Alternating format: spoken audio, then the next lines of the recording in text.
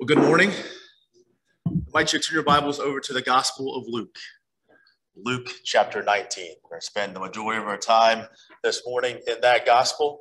Luke chapter 19. And I trust that you all had a good night's rest. It's so good to see many of you out this morning, all of you out. There's we have a good number this morning, and just honored and privileged to have the opportunity to be here this morning, to stand before you and break unto you the bread of life. And I hope and pray that what is presented during our Bible class period, as well as in our worship assembly, is accordance to God's will. If you have any questions or comments or anything you want to discuss about anything that is presented this morning, I invite you to come and let's talk Bible. I love talking Bible, and I'd be happy to answer any questions that you may have or just discuss what's on your heart. I'm confident, I know the little ones are, are back in the in the classrooms. I'm confident that I could pull any one of those little kids from their classroom this morning and ask them to tell me and tell us the story of Zacchaeus.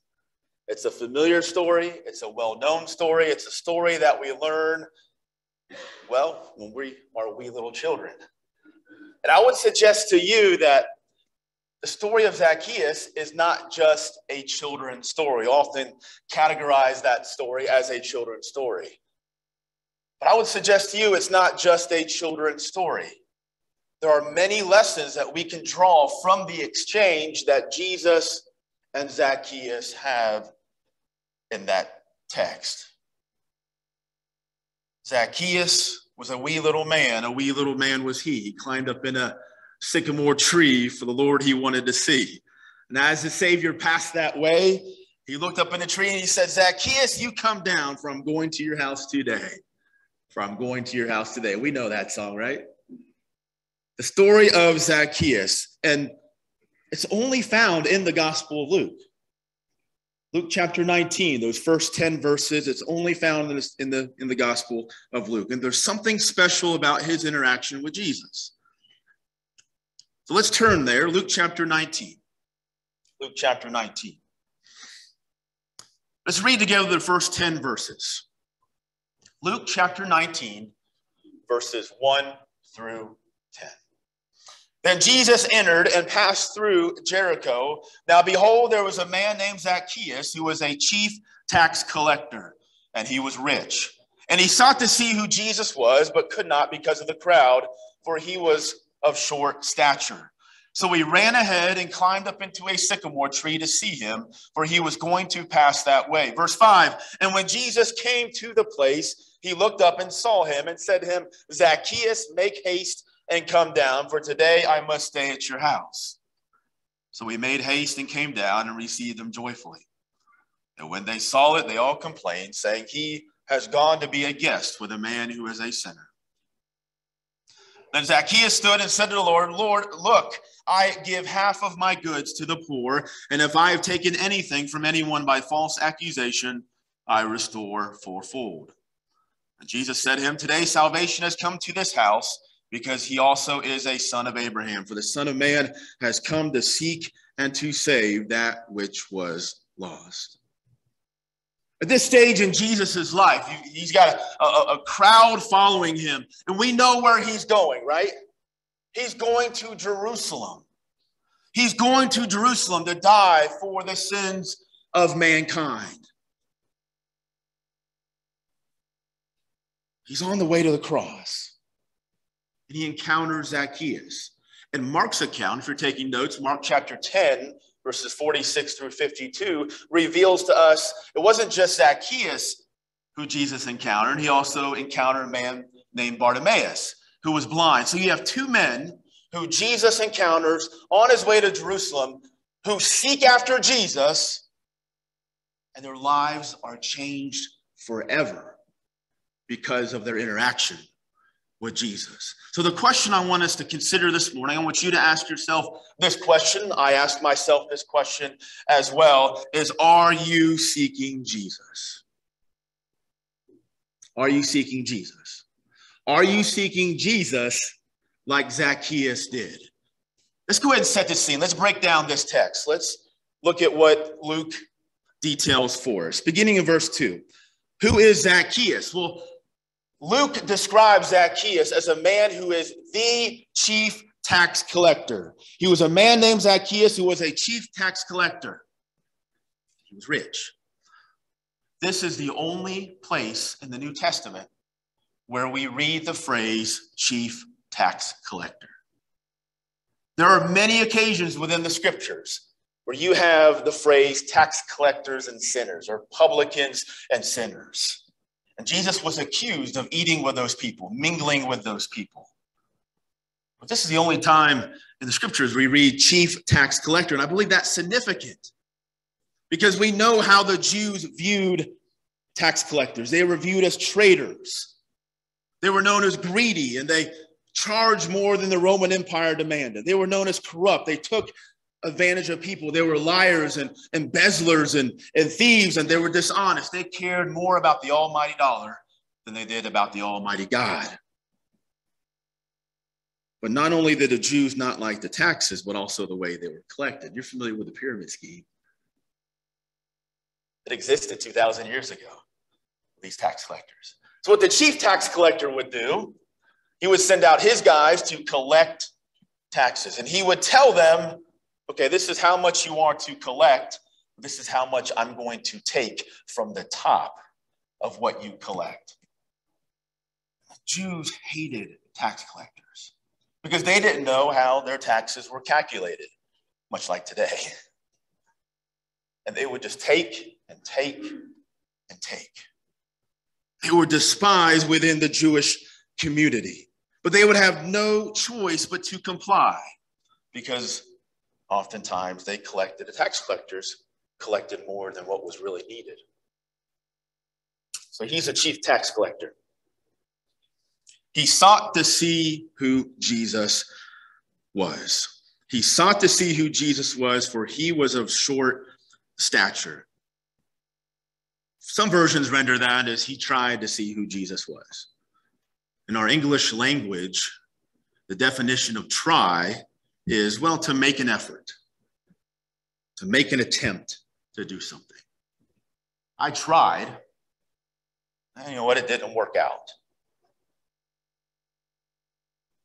But in the Greek, this word, sought, it means he was trying to see who Jesus was. There was a desire to see Jesus, there was a passion to see Jesus.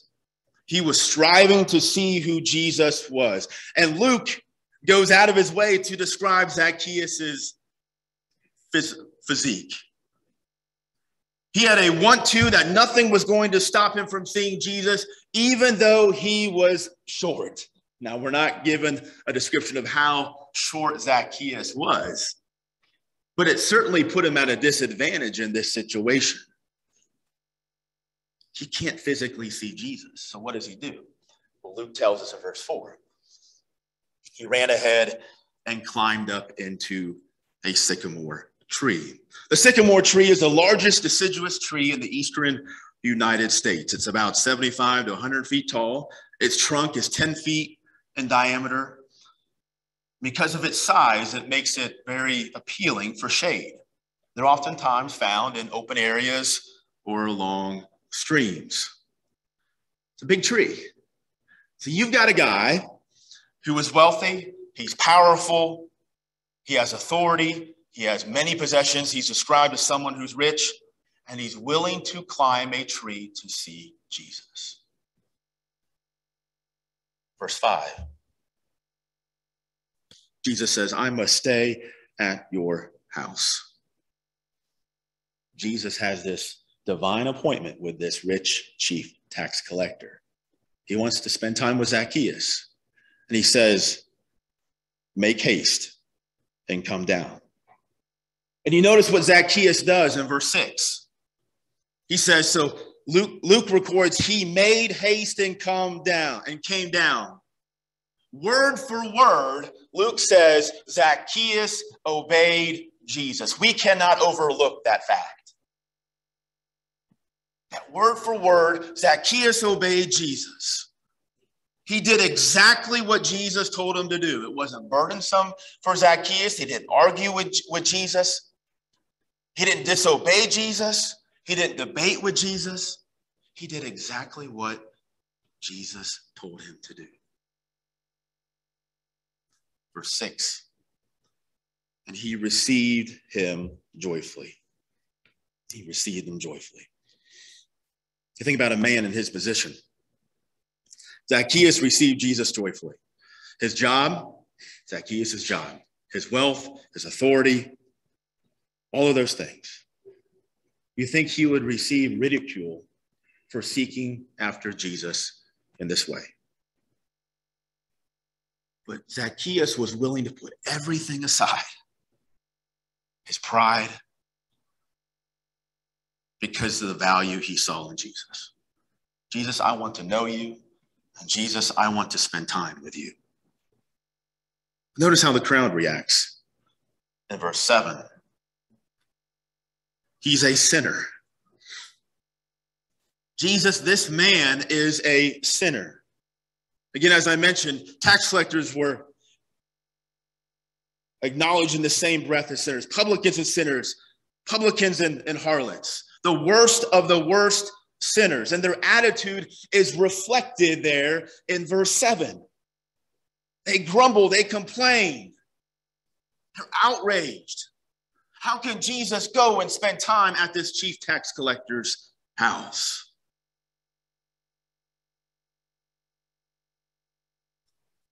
In verse 8, Zacchaeus makes the biggest decision of his life. Half of my goods to the poor. And if I've taken anything from anyone by false accusation, I restore fourfold. The law required various fines for different types of theft, but the amount that he set was higher than what the law of Moses required. So these aren't minor changes that Zacchaeus is willing to make. These are major life changing changes that Zacchaeus is making.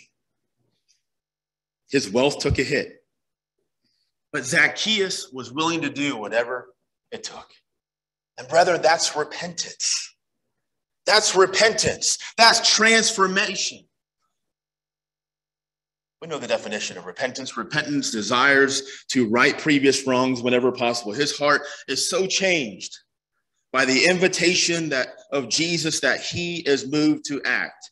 It's putting off that old man and, and leaving all of that behind and moving forward and doing what is right. Cleansing his heart. That new heart led to a heart of generosity. So, what does Jesus do? What, how does he react? He praises Zacchaeus. Today, salvation has come to this house. You have a hated chief tax collector. Jesus says, Salvation has come to this house today. What a beautiful story. What a beautiful exchange between Jesus and Zacchaeus. So, what I want us to do for the remainder of our time this morning is look at three lessons that we can take away from Zacchaeus and three lessons that we can take away from Jesus. The first one I want us to look at with Zacchaeus is none of us really measure up. None of us really measure up. One thing that we know about Zacchaeus physically that he was a short man. He, physique, physically, he was physically challenged because he was short. He was a wee little man. When it comes to God's standards, we are all wee little people. Romans chapter 3 and verse 23 For all have sinned and fall short of the glory of God. We have all fallen short of God's standard. Well, who is the standard? The standard is Jesus. We are all wee little people, but the first step in salvation is that recognizing that in our own goodness, we will never measure up. What do we need? We need Jesus. Zacchaeus recognized that he didn't measure up, but he needed Jesus, that Jesus was the one who could help. None of us really measure up because we all seek something. Zacchaeus was desperately seeking something. Something was missing in his life. He was a desperate man. He was rich and he was dignified, Yet notice what he does in verse 4. Look at verse 4 with me again. He ran ahead and climbed up into a sycamore tree to see him. He ran and he climbed. You know what desperate people do? Desperate people run. there's probably just a handful of people, if, if any, in the room who run for fun. Running's not fun.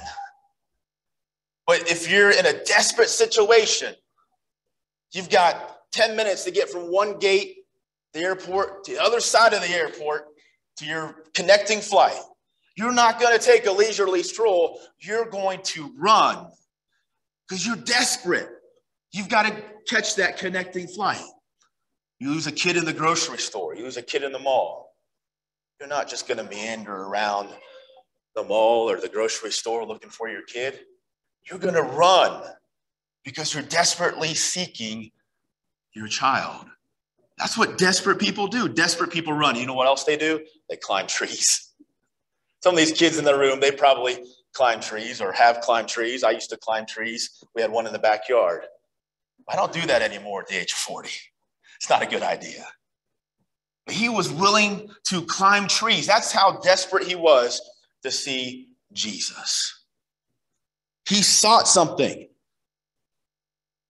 He knew that Jesus was the only one who could fill that void. He had an itch in his heart that all his wealth could not scratch. You may be familiar with the Publishers Clearinghouse sweepstakes. I remember getting those letters in the mail when I was a kid, and I thought we hit the jackpot.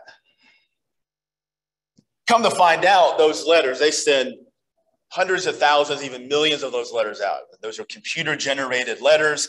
And all they do is they plug in your name, they plug in your address, and they make it sound, they make it read as if you just won millions and millions of dollars.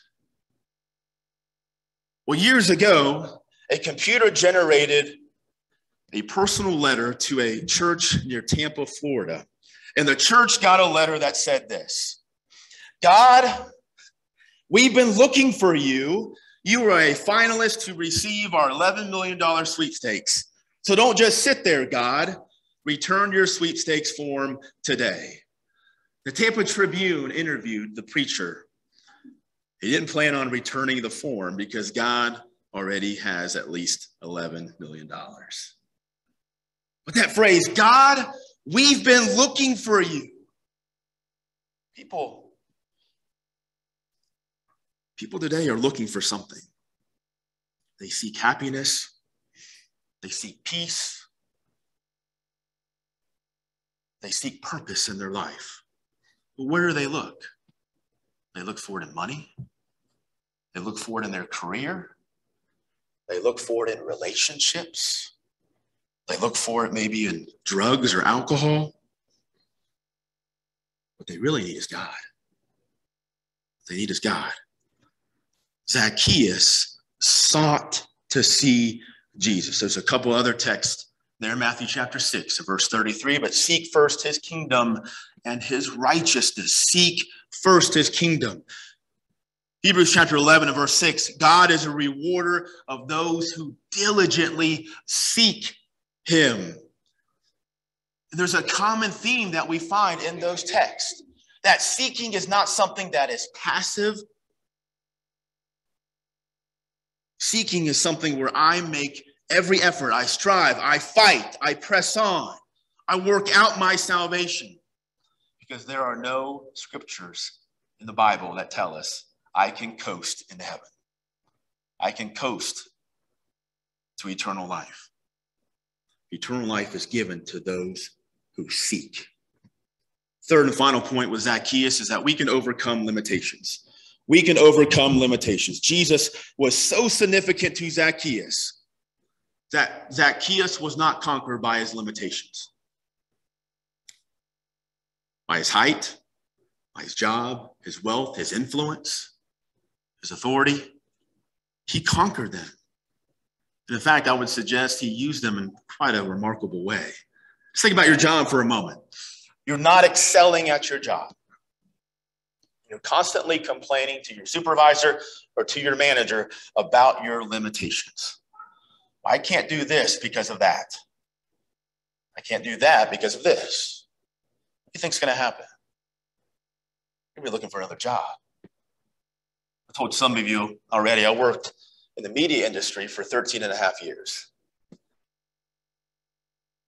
What if I went to my editor and said, I need a faster iPhone to take my photos, my video, record my interviews. I need a better computer. I had this one for five years. Can you get me a better computer? I would like 56 cents mile reimbursement instead of 26 cents in mileage reimbursement. I complained and complained and complained. You're looking for another reporter, looking for another journalist. We we are in situations where we can make plenty of excuses. We all have personal limitations, but do we allow those limitations to define who we are? When we fail to overcome our limitations and rather use them as an excuse, we are saying that God hasn't given me the power to overcome those limitations. We're calling God unfaithful. Second Timothy chapter 1 and verse 7. For God has not given us a spirit of fear, but of power, love, and of a sound mind. Fear is used in a number of ways within the scriptures. Fear is used in a way of, of respect and reverence toward God. I fear God. I fear what he can do. I respect that. I respect that so much. I submit to him. Well, fear in this case, in which Paul uses with Timothy, is that cowardice fear. God has not given us the fear, that type of fear, to be a coward, to be timid in what I do. Because if I have that type of fear, I can box myself in. God, God knows our limitations. None of us here is perfect. The perfect specimen, perfect in height, weight, skin tone, definition. We all have our limitations. God knows what those limitations are because He's given us those limitations. But He's confident in our ability to overcome those limitations because Zacchaeus did, and we can as well. All right, let's shift gears a little bit. Let's look at Jesus. Let's look at Jesus. Let's look at Jesus. Three points about Jesus. Let's look at verse 10. Let's read verse 10 again. For the Son of Man has come to seek and to save that which was lost. That was his mission. We oftentimes we isolate that verse and we can quote Luke chapter 19, verse 10, but we forget the context in which it is written. Because what we know about Jesus is that he knows you. He knows who you are. Don't you like it when someone calls you by your name, your first name? You know what that shows? That shows that there is a personal interest in you. There's intimacy in that relationship. There's affection. There's a connection between those two people. What's the first word that Jesus says to Zacchaeus? Zacchaeus. He calls him by his name. And we appreciate that in our relationships. Instead of, hey, hey, you. There's, there's, there's a disconnect there. When I say Wesley, or I say Carrie, or Gary, that means I have a personal interest in you. There's a connection, that a bond that we already have. That's what Jesus demonstrates here in this text. He calls him by his first name. He that's the very first word that he says. You can imagine Zacchaeus as the chief tax collector. He was probably called a lot of names that we can't mention up here from the pulpit. He was hated, I'm sure. But Jesus knew his name. And I would suggest that Jesus knows everybody's name. Look at Isaiah chapter 43 and verse 1. Isaiah chapter 43 and verse 1. What's beautiful about our relationship with God is that you and I, we don't have to wear a name tag for God. God knows who we are. He knows our name. Isaiah chapter 43 and verse 1 Fear not, for I have redeemed you. I have called you by name. You are mine. But it isn't just the name, our name, and your name that Jesus knows about you. He knows everything about you. Look at Luke chapter 12. Jump back a few chapters in the Gospel of Luke, Luke chapter 12. Luke chapter 12. Look at verse 6. Luke chapter 12 in verse 6. Are not five sparrows sold for two copper coins, and not one of them is forgotten about God? The sparrow was the cheapest thing in the market, their value was low. But Jesus says they are not forgotten by God. We, as God's crowning jewel of his creation, are much more valuable than those sparrows. How intimate does our God know us? Look at verse 7. But the very hairs of your head are all numbered.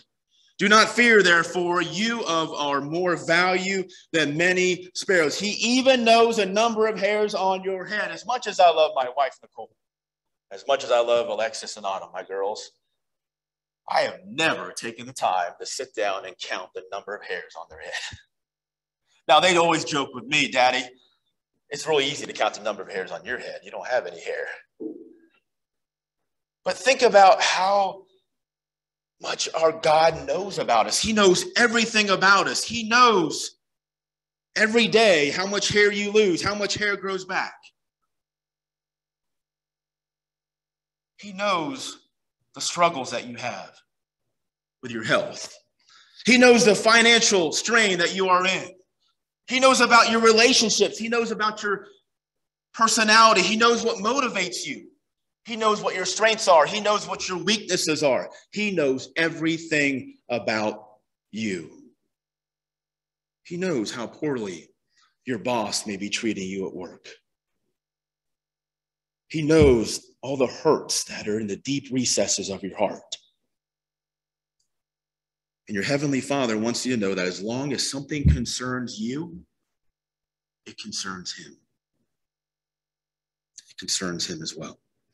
We may think that we're all alone in this world. Nobody knows who I am, nobody really cares. But there's a loving God who created this entire universe. There's a loving God who created you who does care. First Peter chapter 5 and verse 7, casting all your care upon him for he cares for you. You can take that to the bank, brother.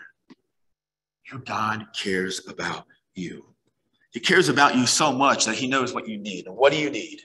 You need a relationship with Jesus. Look again with me in verse 5. Go back to our original text.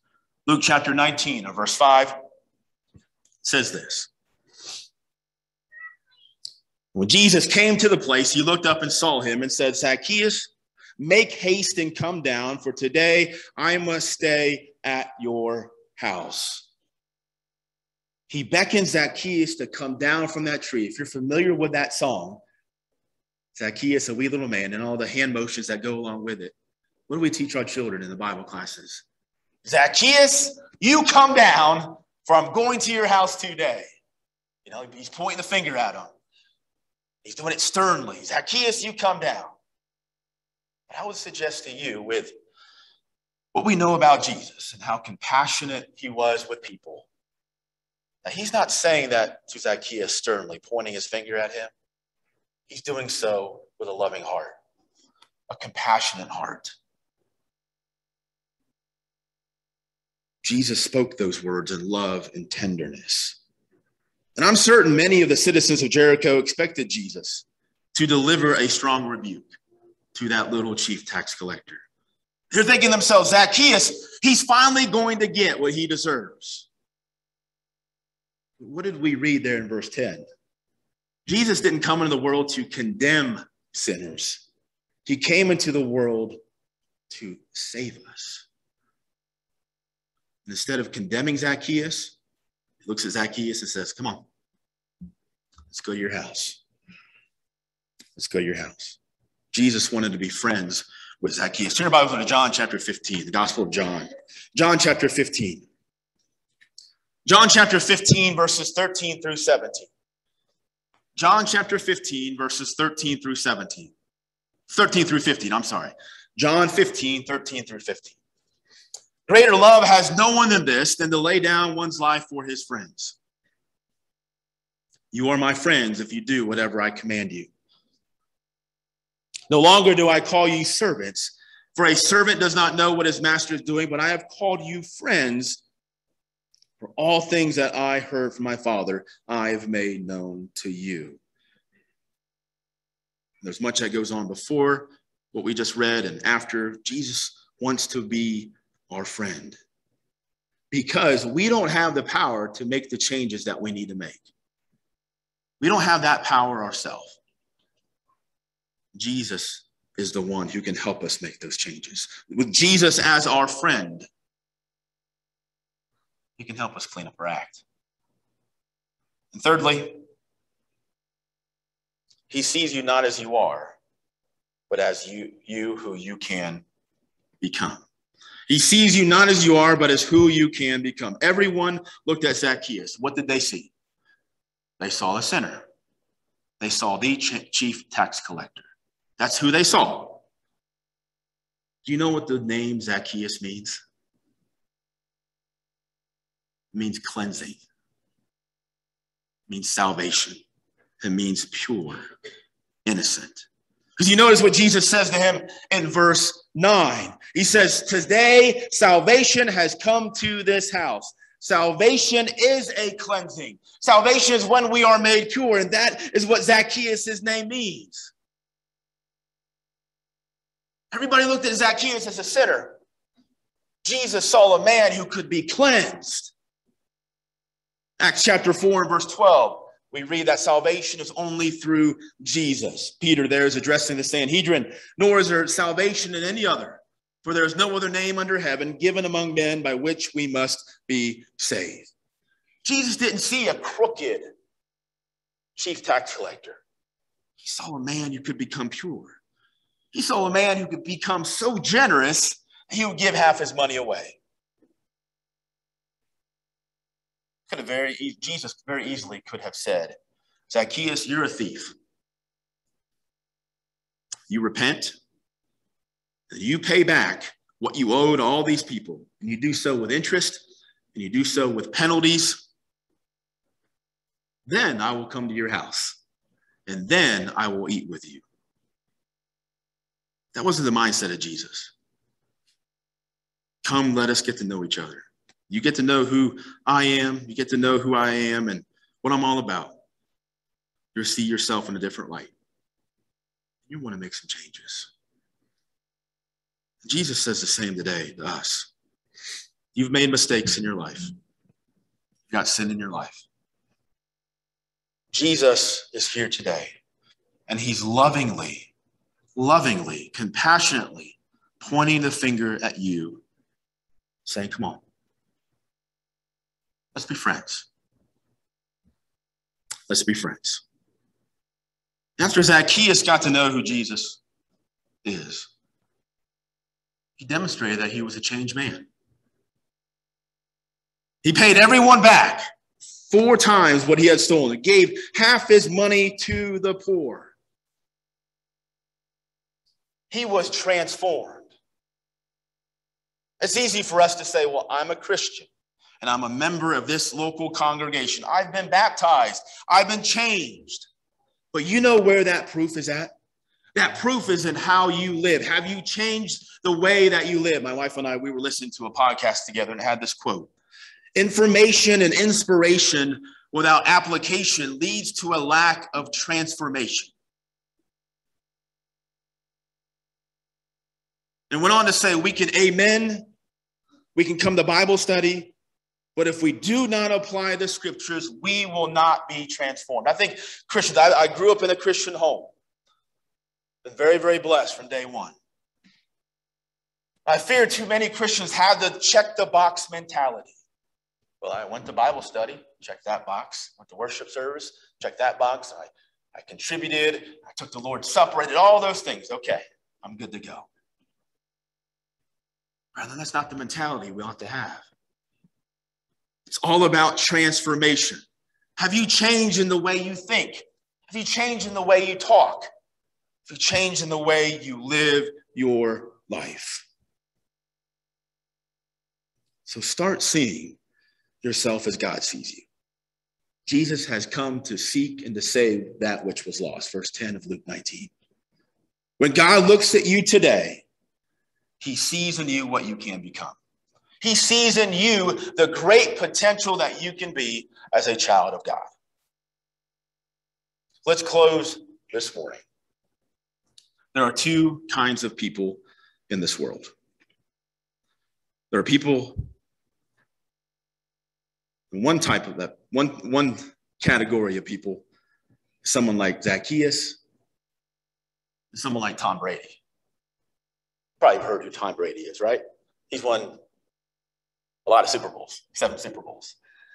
He did an interview. He was 27 years old at the time. He did an interview when he was 27 years old. At that point in his life, he had won three Super Bowls, had a huge contract with the New England Patriots. And he told 60 Minutes this quote Why do I have three Super Bowl rings and still feel like there is something greater out there for me? I mean, maybe a lot of people would say, hey, man, this is what it is. I've reached my goal, my dream, my life is. Me, I think it's got to be more than this. This is a man who his net worth is 250 million. His wife's net worth is 400 million. He's got seven Super Bowls, probably win at least one, two, maybe three more before he retires. He's got it all. We with the world thinks he's got it all. Later in his life, in 2015, he did another interview with the New York Times. And they asked him about that 60 minutes interview. And he said, after that interview, I got a litany of Bibles sent to me. I was searching for something. More than likely, he's still searching for something. There's still that void in his life. We can find money, we can find a job, career, relationship, but we really can't scratch that itch in our heart unless Jesus is in our heart. And He's calling you by name. He's saying, I want to have a relationship with you.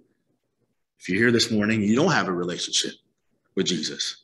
But I would presume that most of us in the room this morning are former Zacchaeuses. We have a relationship with Jesus. We may think, well, that is a really nice children's story. And I hope that our eyes have been opened this morning and recognized that it's much more than a children's story that we can look at the story of Zacchaeus and, and learn from it. It's about seeking and saving those lost people. And there are lost people all around us, everywhere we turn. I want you to consider this question for you who are former Zacchaeuses. Are you willing to be a tree to lift people above the crowd so that they can see Jesus? Are you willing to be a tree to lift people above the crowd so they can see Jesus? I would encourage us this morning to think about the role of that sycamore tree and that we're like that sycamore tree. Can you be the person to lift people up above the crowd so that they can see who Jesus really is? They can see Jesus very clearly. We know that we can't save people. Jesus is the only one who can save people. We can't change people. Jesus is instrumental in changing people. But our job is to lift people up until they see Jesus. We turn it over to Jesus. I think about that story in Luke 19. God planted that tree just in the right spot so that he could see Jesus. God has planted you somewhere. God has planted you somewhere. It could be your job, your community, your school. God has planted you somewhere in your life. You have a purpose in your life. He's planted you there to simply lift people up above the crowd so that they can see Jesus. Because Jesus states in verse 10, it's all about people. It's always been about people. It will always be about people. Zacchaeus, he woke up that morning he thought to himself, well, how much money can I swindle from these people? He went to bed that night thinking, how much money, how much more money could I give away? That's transformation, folks. That's transformation. And whenever Jesus had an encounter with someone, he always expected change from that person. He always expected change. Jesus, in any situation that he was in, he made that situation better. Reminded, if you're taking notes, this one just, just came to my mind. Luke, or excuse me, Mark chapter 2. He's eating with tax collectors and sinners. And Mark gives us a very detail, very uh, close de- descriptive detail there in verse 15. He says, They followed him. Jesus, in any situation that he was in, expected the people who he encountered to be better, to change. And that's what Zacchaeus did. He changed. So as we wind down this morning, I appreciate so much your kind attention. Have you changed? Zacchaeus changed. How have you been transformed in your life as a Christian? Thank you so much for your attention this morning.